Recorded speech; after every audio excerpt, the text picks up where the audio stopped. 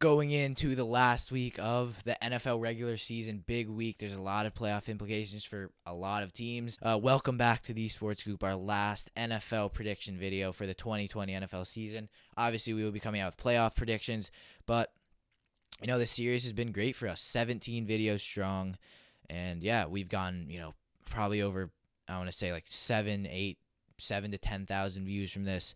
So we want to thank everyone who's watched. And let's get into our week 17 predictions. Welcome back to the Sports Scoop. First game Vikings Lions.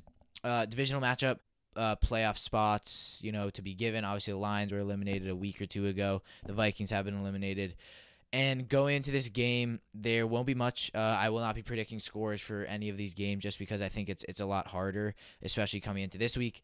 Um, I'm going to give this to the Vikings. I think they still come in here with that team. Um, but Mike Zimmer, as he said, this team is not the same as they usually are. Usually a playoff con- contending team, third in their division right now there's not much really they can do. They come back next year with Justin Jefferson should be better. Hopefully they get a healthier defense, maybe get some picks in the draft, and they're uh, rolling. Game Falcons Buccaneers. Bucks have a uh, clinched a playoff spot. The Falcons obviously haven't. Falcons did play very well against that Chiefs team. That's why I'm going to give them the win here. I think they come in, um, play very well. I think they're going to still start their starters. I don't. I Julio might be out. For, I actually haven't been very updated on Julio. I don't know if he'll be there or not. Ridley's been playing amazing. The defense has gotten better progressively over the season. Um, AJ Terrell was looking pretty good. Uh, so I'm going to give this one to the Falcons. Jets Patriots, another divisional matchup. The Jets, you know, upsetting the Browns. That was a game I was kind of expecting, which is weird because it's the Jets, and that kind of gets me angry that I was expecting them to win, but they did. And I feel like a lot of people were expecting them to win. Um, and they are playing the Patriots. Cam Newton, who knows, this might be his last game as a Patriot in his short career with the team. I don't know. You know, maybe they bring Garoppolo back. There's a lot of options for them. Again, neither of these teams can make the playoffs. The Jets, obviously, they were eliminated like mid-season. So I'm to give this one to the Patriots. I think they come in here. The defense is still good. Cam Newton is still a sustainable quarterback, and they have, you know, they don't have receivers. I was to say they do. They do not. Um, but I think, you know, get them draft picks. They'll be they will never be the old Patriots. I think that's what people have to notice. You know, Tom Brady has to be on that team for them to be the old Patriots. But you get some picks, and they could be a new revamped Patriots team that could make me maybe make a playoff run. Um, but yeah, huge, huge divisional game. The other two teams in the Patriots and Jets division, the Dolphins and the Bills. If the Dolphins win, they clinch. If the Bengals win, the Dolphins get playoffs. If the uh, if the Steelers win, they get playoffs, and if the Jaguars win, they get playoffs. Uh, but this is a big game. I think the Dolphins really want this game, and I think they're going to be hungry, and they're going to come in and win this game. Their defense is really good. I think they can hold Josh Allen and Stefon Diggs. They have the best corner in the league in Xavier Howard, absolute interception monster. Um, and Tua, who was benched by Fitzpatrick. I wouldn't be surprised if we saw Fitzpatrick starting, but Fitzpatrick was very good against the Raiders on Saturday night. So I'm going to give this one to the Dolphins. I think they're going to want it more. They want to make the playoffs for the first time in a while. Um, I'm giving this to the Dolphins. Steelers, Browns. Browns playoff hopes were not crushed because they still can make it, but, uh, you know, not they're disheveled due to the Jets beating them, which again I said I was expecting. So it depends. Obviously, they literally had no wide receivers. I think you know majority of Baker's passes were were to uh, the two um t- or their three tight ends: Hooper, Bryant, and I actually am forgetting the other one, and Njoku. Um, but all of their receivers. Donovan Peoples Jones, Rashard Higgins, Jarvis Landry, they were all out due to COVID. They were close to BJ Goodson, who will be out this week against the Steelers. Uh, but this is a this is a this is Steelers win. I think they beat the Colts. They had a very, very impressive game. Ben Roethlisberger was looking great. Um, so I'm giving this one to the, the Steelers. Um, I think they win this one. The Giants, Cowboys. Here's my thought process. I mean, the Giants obviously have been eliminated from playoffs. I thought they could beat the Ravens. Obviously, I was wrong. Old Lamar Jackson came out of nowhere. The Cowboys are six and nine. The Giants are five and ten. But I feel like can the Giants come into this game?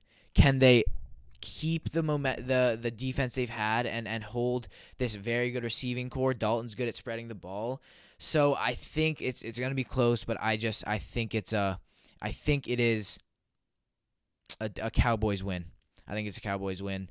Um, yeah, I think it's Cowboys win. There's, it's just, I feel like it's too tough of a, a, task for the Giants to go up against a hungry playoff wanting team in the Cowboys with Dalton, who's been looking pretty good. Gallup had a huge game, so I'm giving this one to the Cowboys. The Ravens, Bengals, Ravens again. It's a tough. They're what they're in the hunt for playoffs.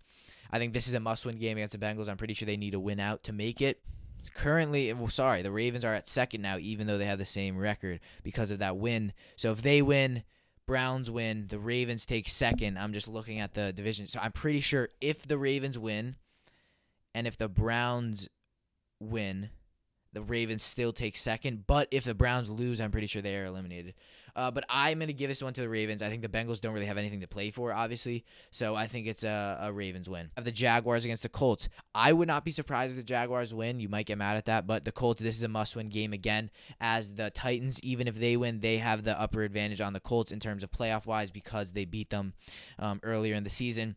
Um, so I'm going to give this one to the Colts. I wouldn't be surprised if the Jaguars win. We'll see. Titans, Texans. The Titans, as I said, they have the advantage over the Colts with the win earlier in the season. The Texans, though, they could disrupt this uh, Titans team. I wouldn't be surprised. Deshaun Watson could pull something. Deshaun Watson could. Deshaun Watson could pull something out of the bag but you never know. Derrick Henry, I mean, the Texans have one of the worst defense, you know, below 30 defense in the league. Derrick Henry might absolutely abuse them. You don't know. Maybe A.J. Brown goes off. Uh, Ryan Tannehill has been playing very well this season.